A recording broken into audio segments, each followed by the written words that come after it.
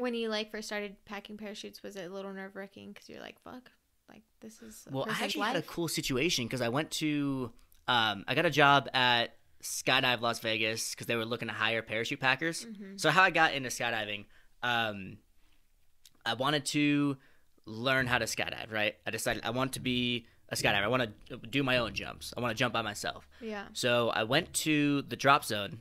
Uh, it was Vegas Extreme. Now it's Go Jump, and I actually, uh, like, like literally just on a on a whim, I just drove to the drop zone. I'm like, I'm gonna find out how to do this. I've been thinking about it for like six months. Yeah. I'm gonna do it. So yeah, so I go to the drop zone, and I actually find the dude that did my jump, Kevin. I forget what his last name is, but his first name's Kevin.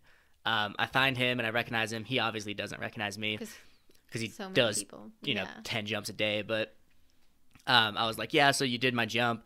How do I get into skydiving? And he pretty much he laid out the groundwork for me. He's like, here's how I did it. Uh, I started by getting hired at a drop zone, packing parachutes. Uh, then they would give me like one or two free skydives every day. And I did that. Wow. Yeah. I I mean, if you work at a cool drop zone, they'll do that. Um, it's it's hard to find, but if you work at a really cool drop zone, they'll they'll give you a free load every day. Um, and I did that up until I got 500 skydives. And he pretty much laid out for me what I just laid out for you. You know, A license, B license, C license, D license. And he's like, once I got my D license at 500 jumps, I just got my tandem rating, became professional, got hired as a professional skydiver. And I was like, that's what I'm gonna do. And I was like, all right, first step, I need to get hired as a parachute packer. Mm-hmm. So I go on Craigslist and I'm like, how to get hired as a parachute packer. there's like two drop zones. Or there, there's three now, but there was two drop zones within like a couple hour drive. Mm-hmm. Uh, there was one in Boulder City and the one that you went to over in Yeah. Jean. Um, the one in Boulder City was actually hiring that at that moment. So I went in there like that day. Here's my resume. You know, let me get this job. And they were like, all right, it's gonna be like a hundred dollars for us to teach you how to pack a parachute. It's like a five hour course. We'll teach you how to do it. It's like a hundred bucks. And I was like, done. Here you go. Um, so I do that. Uh, then they teach me how to pack, basically packing tandem rigs because it was just a tandem factory. They didn't have any fun jumpers there. Fun jumpers being like the solo jumpers. It was all tandems because that's where the money is, and that's also where the liability isn't because tandems are totally safe. Fun jumpers, that's where shit starts getting getting dangerous. Um, so I learned how to pack, and they're paying me five dollars per parachute to pack the parachute, which is egregiously low. It was taking me like an hour to pack each parachute. Oh fuck. Yeah. Yeah. Crazy That's low. like Yeah, I mean it's it's stupid. Like I was getting paid five dollars per hour. They had, they, had, they had the pay system. We'll pay you five dollars per parachute, no matter how long it takes you to pack one. Uh, then if you can even last a month, we'll give you seven dollars per parachute.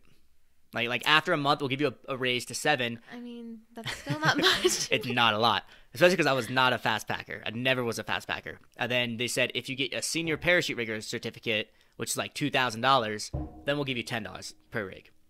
So I was like, let's do that. So after a couple months, I, I paid like two thousand dollars to get my uh, certification, and at like like three days after I paid that two thousand dollars, non-refundable, they were like, "Hey, winter's coming. You're laid off." And I was like, "I fucking work. I fucking hate working here anyway. I don't even want to work here. Wow. Like, like I'm glad you guys laid me off. Fuck you."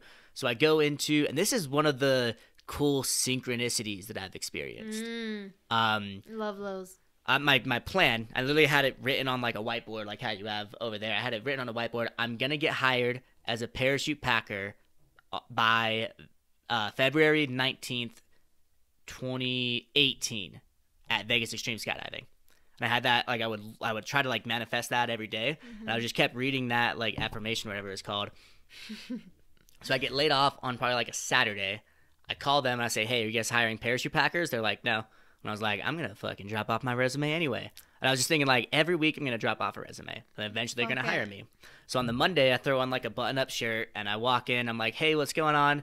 I was super nervous, by the way, because this is my dream job, and I'm going to, to meet the boss for the first yeah, time. Yeah, but fucking props to you because who has the balls to just think of their dream job and then just like consistently go after it like that? Like, it's all I've done throughout my entire life. I know, and I- I it's not it. inspirational and probably why like I do that too because I've seen it in the flesh. Like I've seen Thank you, you. do it. Yeah. Thank you. so I know it's possible, and like I, I, don't know. get ideas in my head, and I can't think about anything else until I do it. One of the examples was starting this That's podcast. powerful. Dude, I was literally wanting to start this podcast for like For so two long, years, yeah. and at least once a day, I would think like when I start my podcast, it's gonna be like this. So thank you for being guest number two. But I go I'm honored to be guest number two. number number two and a half. So I. I go to the drop zone and I'm like, uh, here's my resume. I'm working on my senior parachute rigger certificate, uh, certificate, and I've got probably a couple hundred parachutes packed. And he's like, "Hey, listen, dude, I don't fucking care. Can you pack a parachute?" And I was like, "Yeah." And he's like, "Go pack a parachute then." So I go into the packing room and I like he watches me pack a parachute and he's like, "All right, that hopefully won't kill anyone." and he's like, "Listen, yesterday our old parachute packer broke his leg skydiving. Did a low turn, he's out. We don't have any parachute packers today. And we have 10 parachutes. Wow. I could hire you right now if you want to pack those 10 parachutes. And I was like, oh my fucking God. Did I really just get hired on the, The spot? spot. And I was like, Divine timing. dude, it was so crazy. Ah, Like it, Yes. like it literally just felt like divine timing. And I, I was like, hold on. So you're one parachute packer. just broke his fucking leg. he he can't work starting yesterday and I came in today like wow that's that's so crazy. So I started packing there um, and I did that for like 6 months until I had the opportunity to be the CEO of the production company. Mm-hmm. CEO and I was more of a manager if we're being honest. The manager of a production company, but I had the title CEO that I appointed to myself. I had a not? business card that said CEO, but I was I was I was like a general manager. Still cool, but Yeah. yeah.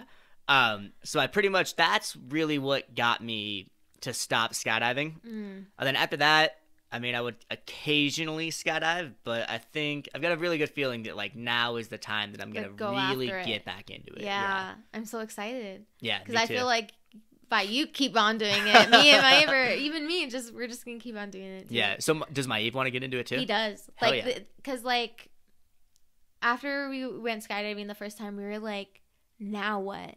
Yeah. Now what is on Yeah. our like fucking bucket list? And he's like, bitch, why do why won't we just fucking get the license? I'm like, Mhm. why not? So that's what our new goal is.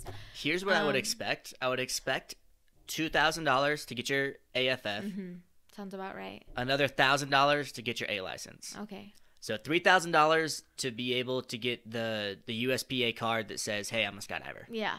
Um, And- once you get that, then hey, you're a skydiver. You can go to a bunch of different drop zones. I'd recommend just going to Go Jump because I like that place. Yeah, I know. I love it. It's cool people, very right? chill. Yeah. Yeah, I, mean, I haven't gone to any other place, but Lake I want to go dope. to the um. Where's where's the other one? Oceanside. right? Oceanside. Yeah, That's their other one, right? Yeah. yeah. I, we you need to have a there. B license to go there because it's really windy because it's near the ocean. But Oh, yeah, I guess that makes sense.